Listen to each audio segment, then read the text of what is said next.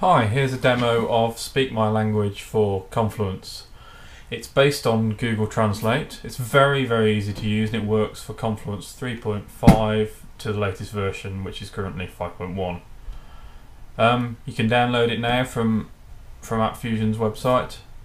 Um, we've also got related products, Speak My Language for Jira, which is again based on Bing Translate, and Lingotek Enterprise Translations for Confluence, which is a a really good, much stronger translation engine. So the demonstration, you see a little little um, link here that says translate, and then you get a drop down, and you can decide let's go with French, and it very quickly translates into French. Let's let's just reload this page, and let's translate it into German. There we go, German. Um,